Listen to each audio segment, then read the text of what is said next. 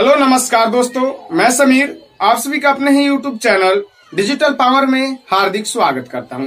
Friends बहुत से comment आए हैं मेरे पास, दोस्तों का जो पूछ रहे थे कि जो अभी समग्र गव्य विकास योजना, यानी जो पशुपालन के लिए यहाँ पे एक योजना चलाई गई थी, उसके लिए आप पूरा प्रोसेस ऑनलाइन करके बताइए स्टेप बाय स्टेप इसमें डॉक्यूमेंट्स कौन कौन से लगेंगे। तो कंप्लीट जानकारी के साथ मैं इस वीडियो में आपके लिए हाजिर हूँ। स्टेप बाय स्टेप प्रोसेस आप अपने मोबाइल फ़ोन से ही कैसे कर सकते हैं, इसके लिए आपको कंप्लीट जानकारी इस वीडियो में दिया गया है। तो चलिए देर न करते हुए वीडियो को शुरू करते हैं। शुरू करने से पहले हमेशा की तरह करेंगे गुजारिश की चैनल पर पहली बार विज़िट किए हैं तो चैनल को सब्सक्राइब कर दीजिएगा। साथ साथ बेलाइकन भी प्रेस कर दीजिएगा, ताकि कोई भी लेटेस्ट अपडेट आपसे मिस ना हो। मैंने बता दिया था कि इसमें रजिस्ट्रेशन करने के बहुत सारे फ्रेंड्स कमेंट किए थे। कमेंट के चलते यहाँ मैं इसको वीडियो आगे बढ़ा रहा हूँ। यहाँ पे देखते हैं आवेदन करने के लिए यहाँ पे जब क्लिक किया जाता है क्लिक करने के बाद सबसे पहले आपको यहाँ रजिस्ट्रेशन करना होता है। रजिस्ट्रेशन करके मैंने आपको बता दिया था। यहाँ पे आपको फिर भी हम बता देते हैं थोड़ा सा। यहाँ पे आपको अपना नाम, यहाँ father's name, date of birth, यहाँ सेलेक्ट कीजिएगा जेंडर, यहाँ पे अपना डिस्ट्रिक्ट। ठीक है फ्रेंड्स? डिस्ट्रिक्ट बाद आपको ब्लॉक, पंचायत यहाँ सेलेक्ट कीजिएगा, यहाँ ग्राम सेलेक्ट कीजिएगा, आपको आधार नंबर डालना है, मोबाइल नंबर डालना है, उसके बाद यहाँ पे आपको ओ पे जब क्लिक कीजिएगा, ओटीपी आपको मोबाइल नंबर पाएगा ओ फिल करके सबमिट कीजिएगा। सबमिट करने के बाद, उसके बाद आपको फिर से होम पेज पे आना है रजिस्ट्रेशन करने के बाद, जब आपको आप मोबाइल नंबर पे ये रजिस्ट्रेशन आईडी यानी आपको मोबाइल नंबर रजिस्टर आईडी रहेगा। और आपको पासवर्ड मिल जाएगा। उसके बाद आपको आवेदन के लिए लॉगिन पर क्लिक कीजिएगा। क्लिक करने के बाद आप अपना मोबाइल नंबर यहाँ डालिएगा। और जो पासवर्ड आपको मिला है पासवर्ड यहाँ डालिएगा। कैप्चा आपको यहाँ डाल के उसके बाद साइन इन टू अकाउंट पे क्लिक कीजिएगा।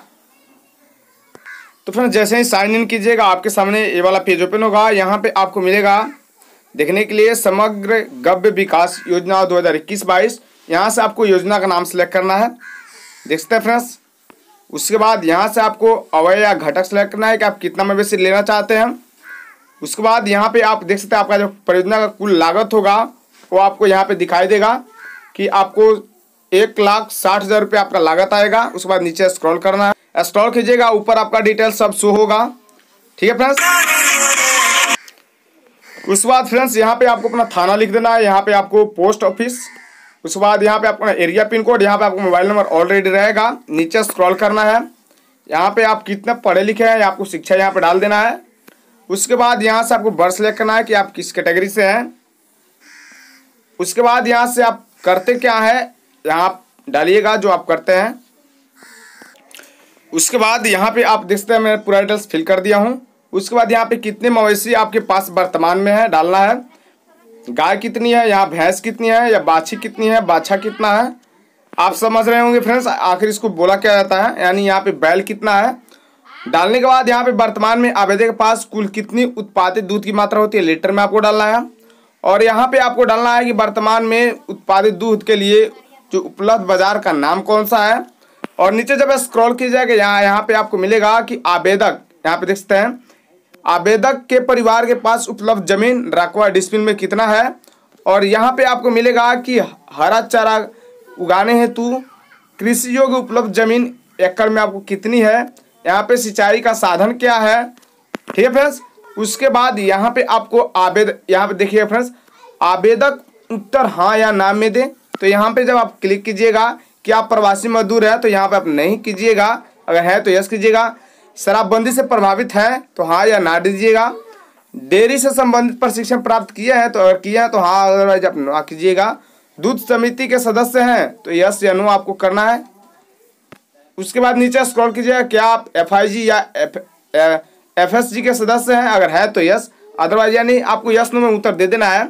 उसके बाद यहाँ पे वित्तीय पोषण जो होगा, वो स्वलागत या बैंक ऋण जो वित्तीय आपका लागत होगा, वो स्व ऋण से कीजिएगा या बैंक ऋण तो यहाँ पे आपको सिलेक्ट करना है, जैसे स्व लागत से करना है। या बैंक ऋण से तो बैंक ऋण पे जब सिलेक्ट कीजिएगा तो आपको वित्तीय पोषण बैंक का नाम डालना होगा।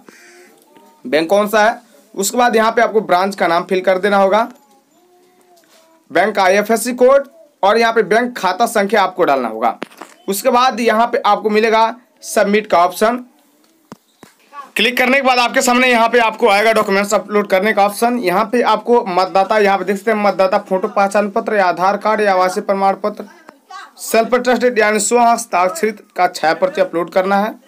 ज़मीन से संबंधित रसीद का छाया प्रति, स्व घोषणा पत्र आपको अपलोड करना है, और परियोजना प्रतिवेदन की छाया प्रति यानी जो प्रतिवेदन फिल किए, उसका छाया प्रति आपको डालना है।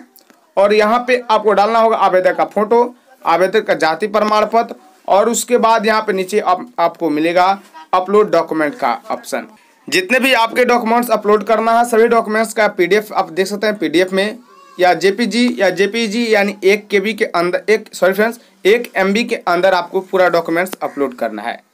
डॉक्यूमेंट आपको सिलेक्ट करके और अपलोड जैसे ही कीजिएगा अपलोड करने के बाद सभी डॉक्यूमेंट्स यहाँ पे आपके सामने कुछ इस तरह से शो हो जाएँगे. उसके बाद आपको नेक्स्ट पे क्लिक करना है. नेक्स्ट पे क्लिक करते ही आपका जो यहाँ पे पूरा डिटेल्स शो कर दिया जाएगा. यहाँ पे आप देख सकते हैं आपको प्रिव्यू मिलेगा कि आप क्या क्या फॉर्म फिलअप किए हैं अगर सब कुछ यहाँ पे आपको सही है उस कंडीशन में यहाँ पे आपको मिलेगा स्व घोषणा करने के लिए यहाँ पे आप क्लिक कीजिएगा क्लिक करने के बाद यहाँ पे आपको फाइनल सबमिट का ऑप्शन मिलेगा यहाँ पे फाइनल सबमिट कीजिएगा इसका आप प्रिव्यू निकाल लीजिएगा प्रिव्यू मतलब इसका प्रिंट आउट फ्रेंड्स मैं यहाँ पे सबमिट नहीं करने वाला हूँ क्योंकि मैं यहाँ पे खुद अपना डिटेल्स फिल किया है तो मैं यहाँ पे प्रिंट यहाँ पे नहीं करूँगा फाइनल सबमिट करने के बाद दिक्कत आ सकती है तो आप अगर आवेदन करना चाहते हैं तो आप इसके लिए फाइनल सबमिट कर सकते हैं। तो फ्रेंड्स, आपको क्या करना है, जो अभी फॉर्म फिलअप किए हैं, इस फॉर्म फिलअप करने के बाद आपको प्रिंट आउट मिलेगा। प्रिंट आउट को निकाल लेना है। जितने भी यहाँ पे सपोर्टिंग डॉक्यूमेंट जो इसमें आप अपलोड किए हैं, सभी डॉक्यूमेंट्स को आपको दो प्रति में करा लेना है और दो प्रति में कराने के बाद आपको सब में एक एक प्रति लगा देना है। और उसके बाद जो ऑफ़िस यहाँ पे आप दिखाई दे रहा है आपको इस ऑफ़िस में आपको लेके डॉक्यूमेंट्स जो है, वो जमा कर देना है। बाकी सब वहाँ से करके आपके पास जो भी होगा वहाँ से आपको नोटिफाई कर दिया जाएगा आपके मोबाइल नंबर पे या आपको ईमेल के माध्यम से। तो इस तरह का वीडियो अच्छी लगी हो तो लाइक कीजिएगा चैनल को सब्सक्राइब कीजिएगा। मिलता है नए अपडेट नए वीडियो नए रिक्रूटमेंट के साथ, तब तक के लिए दीजिए इजाज़त। जय हिंद बंदे मातरम।